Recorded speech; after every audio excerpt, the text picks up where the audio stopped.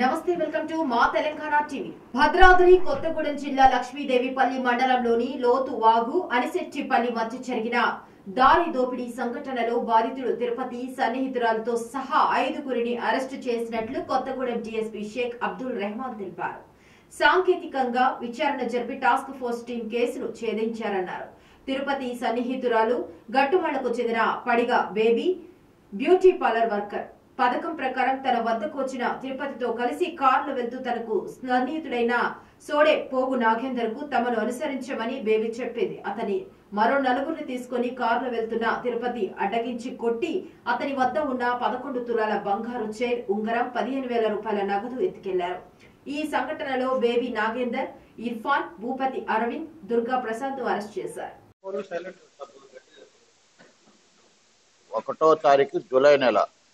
రాత్రి సుమారు ఏడున్నర ఎనిమిది గంటల సమయంలో ఈ అనిశెట్టిపల్లి పీతిరిగుట్టల దగ్గర ఒక దారి దోపిడీ జరిగింది.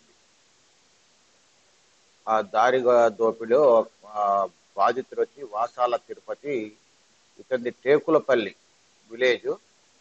ఇతను కొత్తగూడెం తిరుగు వెళ్ళి షుగర్ ట్యాబ్లెట్ తీసుకుని వస్తుంటే అతని మీద కారం జల్లి కళ్ళలో కారం జల్లి అతన్ని కొట్టి అతని దగ్గర నుంచి ఒక మూడు తులాల చైన్ మెడలో ఉన్నటువంటి మూడు తులాల చైన్ మరి చేతికున్నటువంటి ఎనిమిది గ్రాముల బంగారు కుంగరం ఒక సెల్ ఫోను పదిహేను వేల రూపాయలు క్యాష్ తీసుకొని పోయారు దారి కొట్టి దారి దోపిడీ చేశారని ఒక దరఖాస్తు వచ్చింది.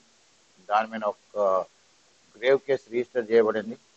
ఆ కేసు రిజిస్టర్ అయిన తర్వాత ఆ కేసులో ఛేదించడం గురించి మన సిసిఎస్ టీమ్ ఇన్స్పెక్టర్ అయినటువంటి సత్యనారాయణ గారు ఎస్ఐ ప్రవీణ్ గారు మరియు ఎస్ఐ సుమన్ గారు ఎస్ఐ రామారావు